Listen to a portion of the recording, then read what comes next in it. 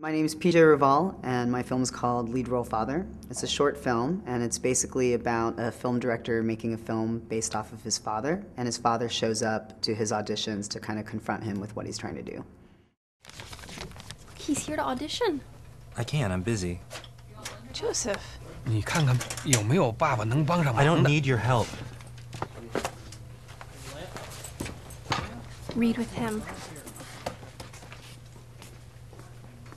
What I tend to do is I like to get the actors in a room and do a lot of improv rehearsals.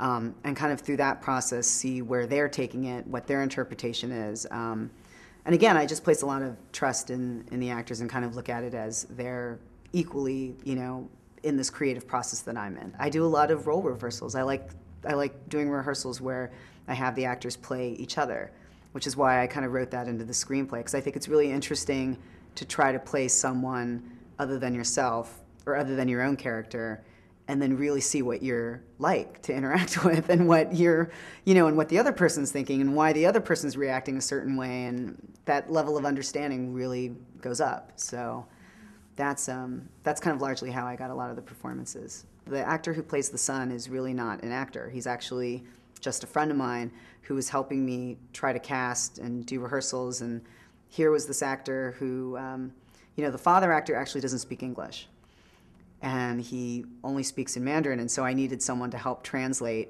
So I brought my friend along, and they started reading together and improving together and I just really liked the connection that they had so I ended up casting my friend as as the son actor who you know so he's kind of an amateur actor but I thought he did a good job so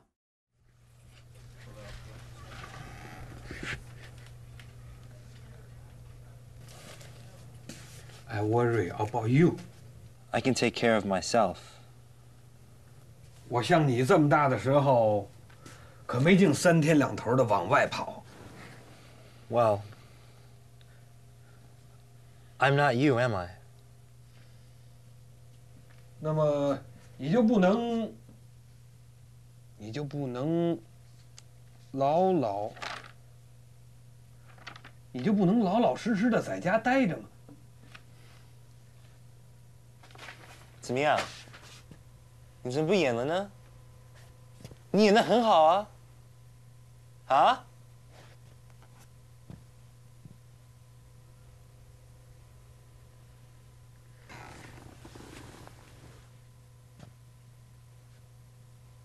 所以你不要想来这像我们两个人以前没有事一样的。你以前小，不懂事情。可是你现在，你长大了，应该明白了。